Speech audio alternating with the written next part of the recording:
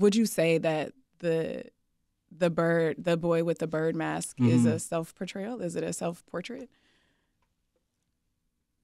I wouldn't say self portrait, more of like a self reflection Mm. of my life and a lot of people that I grew up with.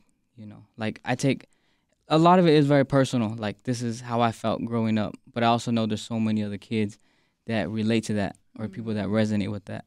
Like today, uh, someone DM'd me, um, just like, "Hey, I've been incarcerated for so many years or so much time, and I saw your mural in the uh, the Chicago Sun Times. I forgot they did like a feature on me, and he's like, I cut it out and I have it in like I've had I like just stared at it, and that's what like resonated for me as a kid is like my pops being incarcerated. I would like draw pictures, send it to you know mail it to him, and he would be able to and he would like tell me like, oh, it's dope. Keep sending me more art. So that's what like motivated me.